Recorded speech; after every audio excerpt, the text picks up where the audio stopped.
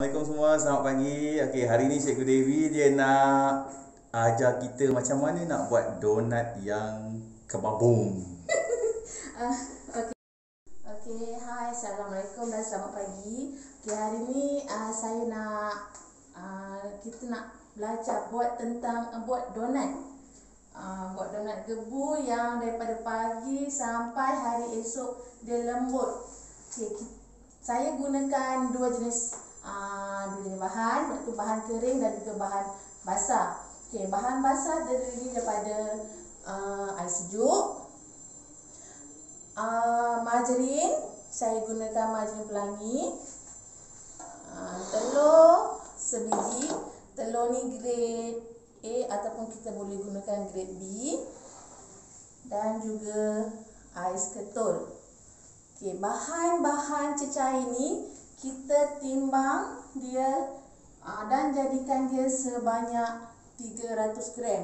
Kuantiti air ni bergantung banyak bergantung pada tepung yang kita gunakan. Okey, jenama tepung. Hari ni uh, saya biasa gunakan tepung jenama uh, cap kuda. Golden Coast.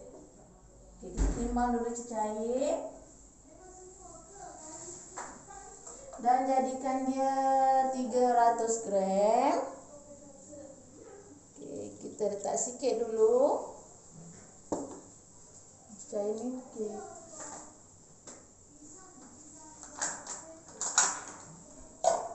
Kita letak lebih kurang uh, ah, 5 ketul ais. Okey, letak 5. Okey, cukup. 5 ketul. Dan Okay, macam ni nanti kita pecahkan telur ni kita nak ambil kuning dia sahaja kita nak ambil putih fungsi fungsi telur ni untuk melemakkan lagi dan melembutkan lagi donat kita. Okay, kita buang. Kita buang putih dia. Putih ni kita boleh gunakan siapa nak guna boleh gunakan untuk masker ataupun kita boleh gunakan buat kek. Kek yang menggunakan putih telur sahaja. Okay. bismillahirrahmanirrahim. Kita ambil. Hmm.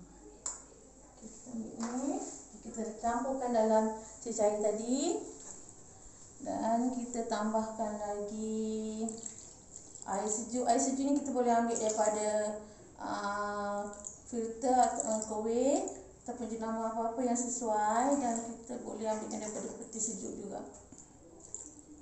Kita, sebab nak buat donat kita kena kurangkan air. Ah, tak boleh lebih donat tak boleh lebih air tak boleh kurang air. Kalau lebih nanti dia tak kembang dengan elok dia cair dia lepeh. Jadi saya nak kurangkan dia kita guna 285 gram saja. Ini cukup cair. Hari ni saya nak uli guna bread maker.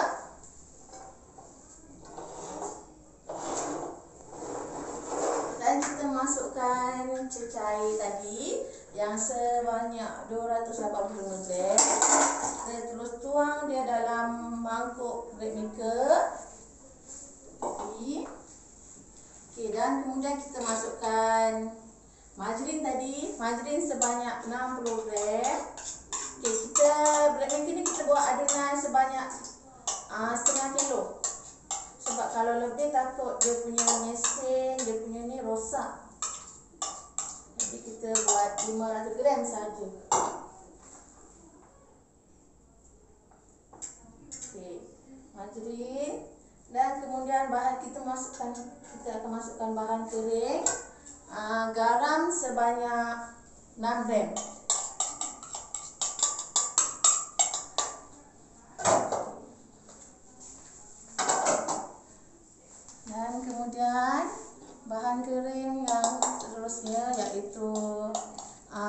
Tepung sebanyak 15 gram masuk je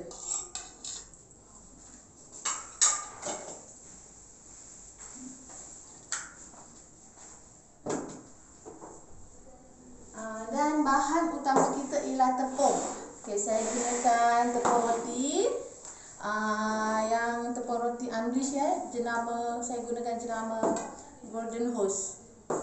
Okey, kita ayak tepung ni. Memang kita dah guna tepung roti tapi kita kena ayak tepung ni sebab kita takut ada benda-benda asing dalam dia sebanyak 500 gram.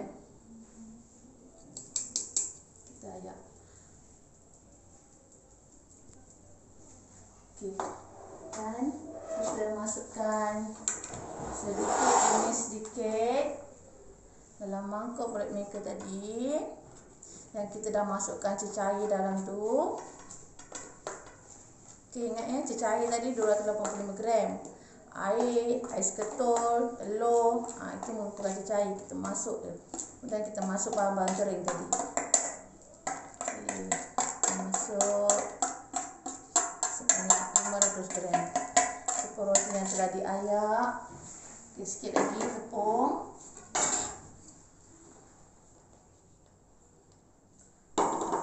okay.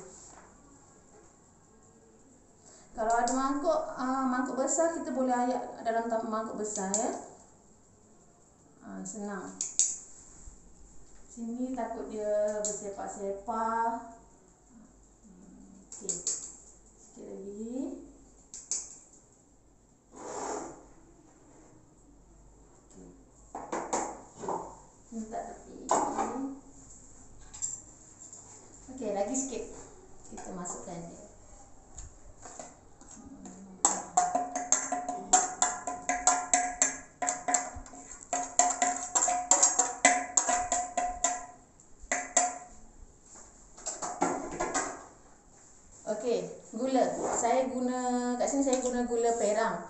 Untuk mengurangkan rasa kemanisan dalam donat nanti kita guna gula perang ni sebanyak uh, 80 gram.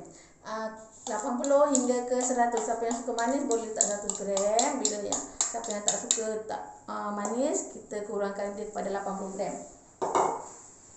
Okey, ini adalah bahan uh, bahan utama dalam kita nak buat donat iaitu uh, pelembut roti. Pelembut roti 2 gram tak kisah guna apa apa-apa brand pelembut roti. Okey, dah siap. Okey, macam ni. Bawah dia bahan cecair, uh, atas dia bahan uh, kering. Okey, dah siap. Kita boleh uh, kuli dia dalam mesin. Kita tunggu dia dalam lebih kurang 30 minit. Uh, kemudian kita boleh keluarkan dia. kita setting Okay, siapa yang guna bread maker uh, apa ni? Em Empress eh. Ah, daripada Kuwait kita boleh set oh.